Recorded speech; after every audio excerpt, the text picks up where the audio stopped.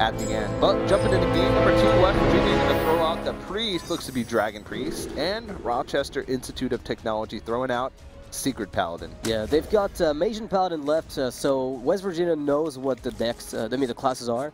Yeah. Uh, so if they're expecting something like Tempo Mage and Secret Pally, Dragon Priest is a, you know, probably a good pick. Uh, it can contest the early tempo of those decks and also, Yeah. you know, stay afloat on health, uh, which is very often what other decks might struggle with. I feel like the, the tools that we're given to Dragon decks and TGT really rounded up the deck.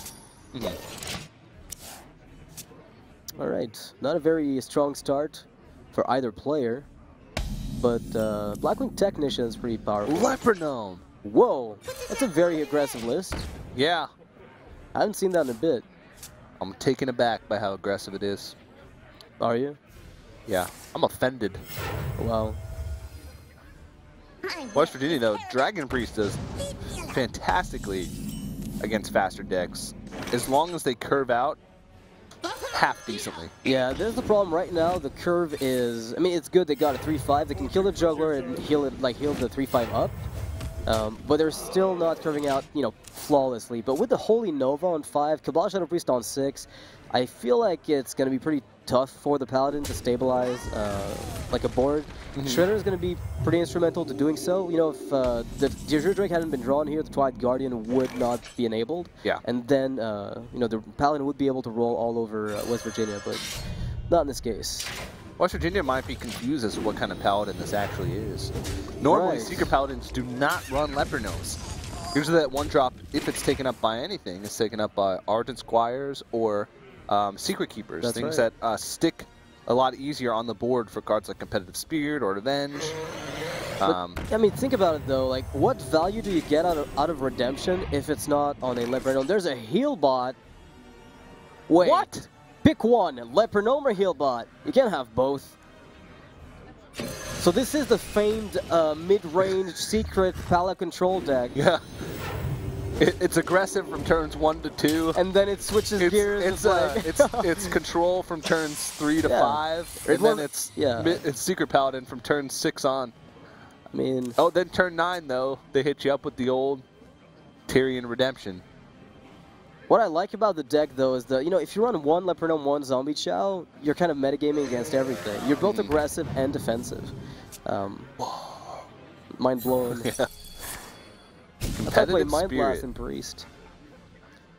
Competitive Spirit doesn't really help here, but what it will do is allow them to push seven damage this turn and secure at least some of their board with a Loatheb. Yeah, I have to wonder, you know, is there a, a moment where you're not playing Loatheb here? I mean, if the Drake trades with the Shredder, you're happy. Uh, if feel a Cabal little- Shadow Priest still is a 2-2, then you're kind of okay with it. They might feel a little threatened by the four damage they've taken. Yeah, Bring themselves back up to 30 with the heal bot. Can't even believe this. Seems like what is that doing there? Seems like oh, a good TJ, this is amazing. I mean, we're discovering a new metagame. Well, the, okay, so you know the thing about these the, this uh, collegiate Hearthstone championship is the fact that the, the players collaborate on their decks. So maybe they all agreed, hey, we're going to play Paladin, and they said, you take bring ten cards, you bring ten cards, you bring ten That cards. That sounds like a genius way to have fun. though. yeah. So one guy brought two mysterious challengers and eight secrets.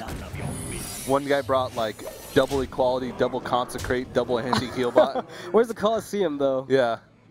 There's only three secrets that were brought out. So it's Ah. not a very heavy secret list. Maybe they just ran one redemption and one competitive spirit, and those have already been played. Or no, one competitive spirit. Yeah, and I think that one was played from hand, so Yeah. Well, there's no light bomb in the hand of West Virginia, so this hand, this board is going to be really tough to deal with. I think that's just going to be the Well- game here. they do have access to Wyrmrest Agent uh, that they can play. It's going to be a little bit of a taunt, uh, but unfortunately with those sixes, like six sixes on the board, uh, it's going to get a little... I think there's almost no way for them to come back. Well, they can double Shadow Word Death. Right. Nope, that doesn't do anything. They yeah they, they can't uh, they can't save themselves with that. No, Maybe don't think there's a any way out. powered shield into light bomb. That's Hmm. the only out, I think. I think that's what they have to go for, just based on what I'm looking at here.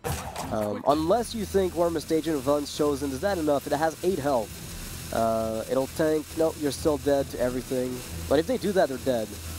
They have to hope for the light bomb top deck. It has to come right now. it's that's a not it. corruptor, not what they're looking for. Rochester Institute there. The praying hands have come out. And the celebration begins. Ah, there we go. The anti-killbot worked. Celebration begins. Ah, there we go. The anti-killbot worked.